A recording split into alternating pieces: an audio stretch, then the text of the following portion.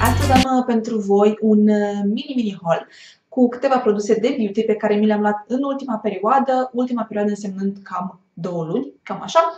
Sunt produse și de pe la Sephora, uh, DM, Pupa, o să vedeți voi îndată ce și cum, așa că hai să încep cu un kit de la La Roche-Posay, Eva Clar, care nu știu dacă se mai găsește în farmacii la momentul acesta, așa că îmi cer scuze dacă vă arăt ceva ce nu mai puteți cumpăra.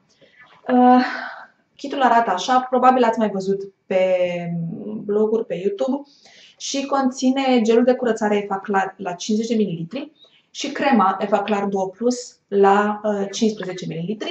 Uh, gelul de curățare încă nu am început să-l folosesc, dar uh, crema am folosit-o deja de câteva ori bune. Nu știu dacă puteți voi vedea, pentru că lumina este destul de puternică și ambalajul este alb. În fine, este varianta mini a uh, cremei Faclar 2 Plus și îmi place mult, mult de tot. O folosesc seara și uh, mă ajută foarte mult să-mi țin uh, monstruleții și intrușii sub control. Apoi, tot la capitolul uh, îngrijirea tenului, am o cremă uh, de la Garnier.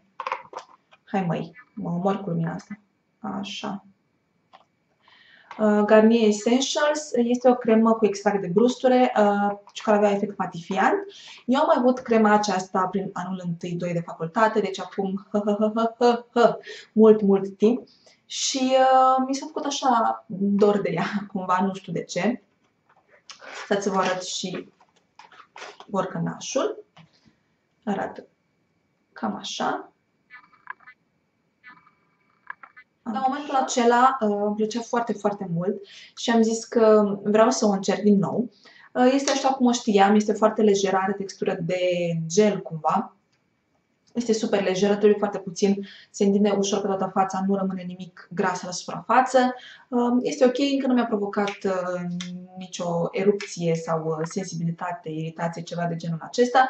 Nu are cele mai bune ingrediente, asta o să vă spun din start nu este foarte curată la ingrediente, dar uh, mie îmi place, mai ales că mi-amintește de multe chestii uh, de acum uh, mult, mult timp, așa că o să folosesc până la final. Rămânem la capitolul îngrijirea feței și mi-am recumpărat această mască de la Garnier, Freshness, masca aceea tip, tip șervețel, mi-a plăcut mult. Am vorbit despre ea într-un clip cu noutățile lunii.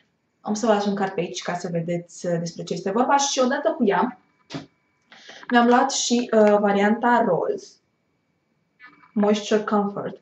Um, pe aceasta am folosit-o, după cum se poate vedea, care nu mi-a plăcut la fel de mult. Într-adevăr, hidratează foarte bine, dar uh, parcă mi-a lăsat așa o peliculă lipicioasă pe față după ce am dat-o jos și nu, nu mi-a plăcut deloc. A trebuit să mă spăl imediat uh, pe față, dar a rămas, senzația de hidratare a rămas. Dar um, tot la cea verde freshness cred că o să mă întorc. Iar și un deodorant să vă arăt. Este acesta de la Nivea și este o variantă nouă, Nivea Invisible. Este varianta uh, fresh. Miroase foarte bine, încă nu l-am folosit, dar am dat așa un puf în aer ca să simt mirosul, bineînțeles. Miroase bine, eu îmi pac foarte bine cu uh, deodorantele astea de la Nivea și cu cele de la DAV, așa că sper să fie ok. Am să vă arăt și niște mărunțișuri, ca să le spun așa, de la DM. Și în primul și în primul rând vreau să vă arăt acest balsam de la Lipsmaker cu Coca-Cola, care miroase extraordinar și are un gust extraordinar. Hmm. Îți vine efectiv să-l mănânci. Eu nu beau Coca-Cola în mod... Uh, adică nu beau de obicei Coca-Cola, dar uh, mi-am imaginat că acesta o să miroase foarte bine și o să aibă un gust foarte bun.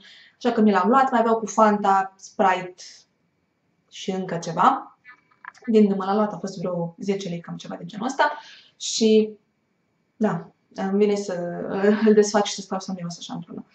Cred că asta o să fac restul clipului. Da, să trecem peste acest moment dubios.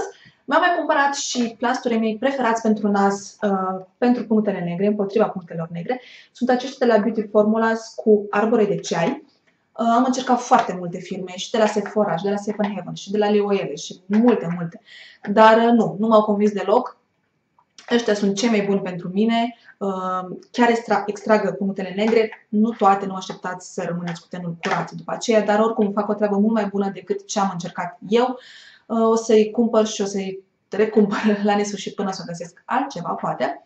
Uh, au și extract de arbor de ceai, spun ei. Arborele de ceai este unul dintre ingredientele mele preferate când vine vorba de skincare, de produse de îngrijire a feței.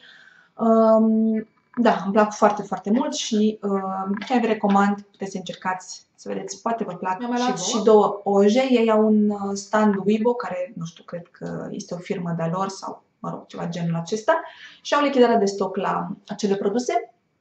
Mi-am luat și eu două lacuri de unghii. Uh, primul ar fi acesta, se numește Granite Sand, nu știu cât puteți voi vedea. Ideea că um, chiar are textură de uh, nisip când o pui pe unghii, este mată și rezistă foarte, foarte mult, neașteptat. Pe unghiile mele um, ojele nu prea rezistă, dar asta chiar îmi place mult. Uh, întâi mi-am luat-o pe aceasta și apoi am găsit-o și pe asta, care are o culoare ușor nebună. Este așa un uh, portocaliu, corai, ceva de genul acesta, dar m-am gândit că o să fie foarte bună pentru vară, dacă o să vină și vara vreodată. Uh, da, nu este cu textura aceea de, de nisip, este o ojă normală, lucioasă. Și uh, pe asta, uh, pe cea cu textură de nisip am încercat-o, pe asta nu. Și de aștept să văd dacă este la fel de rezistent. O să trec la produsele de la Pupa, care sunt doar două la număr. Da, nu prea mi-am făcut da. Nu prea mi-am făcut de cap acolo. Mă rog, ele au fost de fapt trei produse, dar unul dintre ele este pentru voi și o să vedeți îndată ce și cum sper să reușesc să filmez clipul acela cât de curând. Dar cele două produse pe care mi le-am luat uh, sunt, dacă le și găsesc, hai că se poate face gălăgie, este în primul rând această, uh, așa, uh, loțiune bifazică, loțiune de machiantă bifazică, le avea acolo la casă, este în varianta travel size și uh, mi-a zis fata de acolo că este foarte bună, trebuie să o încerci pentru demacherea ochilor și a zis hai să iau, a fost doar vreo 13 lei sau ceva de genul acesta, cam așa arată ea. Nu știu dacă au și variantă mare, uite, n-am întrebat. Este de aceea bifazică, se agită și uh, să o să se întrepătrundă cele două soluții. Sper să fie bună, n-am încercat-o. Și mi-am luat și un, uh, stați așa, așa, un uh, creion de ochi nude, simplu, ca să-l folosesc aici pe linia apei, să am și ochi mari de căprioară. Trecem la capitolul Sephora. Am aici punguța. Și mi-am luat în primul rând, bine, asta am luat mai de mult, de fapt, o loțiune micelară cu uh, cei verde, care arată așa. Au scos ei acum uh, câteva luni gama lor de îngrijire a feței cu uh, mai multe arbore de ceai, cu trandafiri, cu cocos, în fine, sunt diferite game. Eu mi-am luat pe aceasta pentru tenul meu mixt, încă n-am folosit-o, nu știu cum este, o să vă spun ce și cum. Și uh, probabil știți și asta, au lansat de curând uh, mai multe, uh, sau au adus, de fapt, mai multe produse de la firme coreene și am zis că trebuie să încerc și eu măcar câteva măști. Și mi-am luat două dintre ele. Uh, mi-am luat-o pe acesta de la Too Cool for School. Mi se pare foarte tare numele. Uh, Egg Cream Mask. Așa arată. Și Pore Tightening, zice ea că ar fi. Deci ar trebui să închidă porii cumva. Sunt foarte curioasă de ea. Aia conține extract de uh, oțet și uh, de uh, albuș. O să vedem uh, ce și cum. Este mască de ceea tip șervețel. Și mai am una de la Skin Food de data aceasta,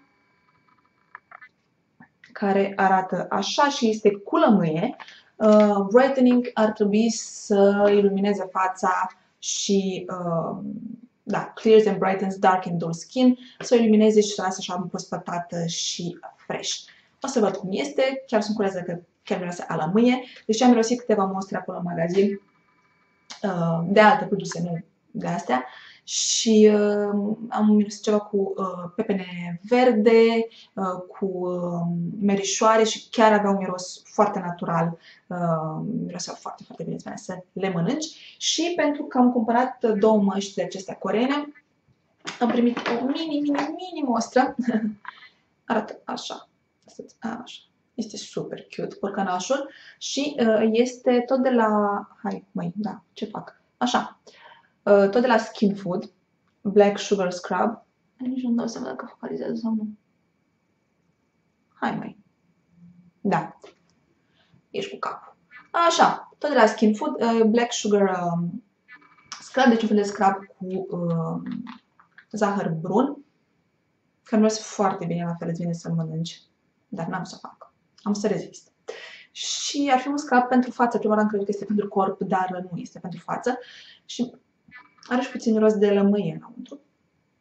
O să văd cum este și am mai primit și două mostre, una tot de uh, scrub de acesta, adică asta. Așa. Și uh, tot de la Too Cool for School, tot ceva cu ou, vă că au o problemă oamenii, uh, este un fel de uh, cremă hidratantă 5 în 1. Cremă. De ce e 5 în 1? Hai să văd. Stai așa. Uai, ce mic scrie. Ah, unde mi sunt ochelarii? Uh, deci ca fi și toner, și ser, și cremă, și cremă de ochi, și mască. Deci uh, le adunat pe toate într-una. Așa arată ea. Sper că puteți vedea ceva. Da? Vedeți și ouul acolo, bătut. da. Sunt foarte curioasă, destul de scumpe, o să recunosc asta, de asta am rămas doar la două măști. Dar um, chiar sunt curioasă cum să n-am încercat niciun produs corean până acum. Acestea sunt primele și uh, sunt curioasă chiar fac ceea ce promit, pentru prețul ăsta ar trebui să fac și de mâncare. Glumesc. Și ultimele produse, ultimele, da, v-am zis că nu am foarte multe, sunt de la un uh, magazin, uh, de la un producător de cosmetice din Moldova, din Republica Moldova. Se numește Viorica Cosmetic. O să vă arăt punga ca să vedeți sigla și o să fac puțină gălăgie, deci îmi cer scuze în avans. Așa arată sigla. Da. Viorica Cosmetic se cheamă. Are un nume foarte comic. Mi se pare uh, super cute. Și, uh, din ce am înțeles eu, ar fi cel mai mare producător de uh, cosmetice din Republica Moldova. Uh, și au formule ceva mai naturale din ce am citit eu acolo pe, pe site-ul lor. Uh, nu conțin parabeni și uh, au deschis primul magazin aici în Iași, primul magazin din România. Am înțeles că vor să se extindă și să deschidă magazine și în alte orașe. O să vedem ce, când, cum. O și eu pe acolo să văd ce și cum, ce fel de produse au. N-am încercat până acum nimic, uh, niciun produs cosmetic din Republica Moldova. Uh, din ce am, mi-am dat eu seama, ar fi așa cu un fel de farmec, cum este la noi farmec în România, farmec gervitar, așa ar fi Viorica Cosmetic la ei, așa mi s-a părut mie. Și mi-am luat uh, trei produse de față, au foarte multe, au și produse de păr, au și produse pentru copii și pentru bebeluși uh, și pentru bărbați, chiar am văzut o gamă pentru bărbați. Um, și toate au extracte de plante. Hai să vă arăt și ce mi-am luat. Prima oară ar fi această loțiune de machiantă, care mm, bănuiesc eu că este ca un fel de uh, apă micelară și are extract de romaniță, spune că hidratează, catifelează și curăță. Uh, nu are alcool și, uh, mă rog, are extracte naturale, plante din Moldova, 100%. O să vedem ce și cum. Oricum să știți că am mirosit uh, toate produsele. Da, exact. Și uh, au miros într-adevăr natural, nu simt nimic sintetic în ele. Asta miroase ceva ceai, de exemplu chiar, chiar miroase aceea de plante. Apoi am o uh, mască scrub pentru față și arată așa.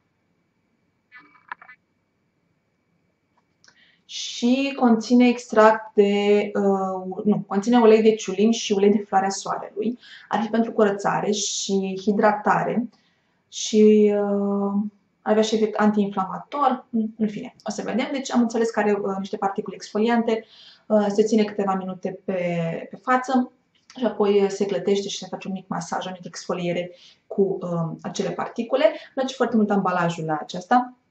Dacă puteți vedea, aici are niște uh, simboluri cumva tradiționale. Așa. Și uh, ultimul produs și ultimul produs chiar în holul acesta, da, ei. Uh, ar fi uh, tot o mască, cremă mască de data aceasta. Se pare foarte interesantă denumirea cremă mască. Uh, pentru față, pentru regenerare intensivă, cu extra de spirulină. La fel, um, se pune pe față, se lasă, nu știu, 15 minute, 20 de minute și apoi se clătește ușor și ar trebui să hidrateze fața și are efect de lifting, efect detox și conferă și elasticitate. promite destul de multe chestii. Să vă arăt și um, produsul în sine. Arată așa. Da? Ce mi-a plăcut mult a fost faptul că uh, ele veneau sigilate aici. Mă rog, eu le-am scos sigiliul ca să le miros în principal. Încă nu le-am folosit, dar uh, mi-a plăcut foarte mult că erau sigilate, individual. Ceea ce mi se pare foarte tare, știu firme mari care nu au uh, produsele uh, sigilate.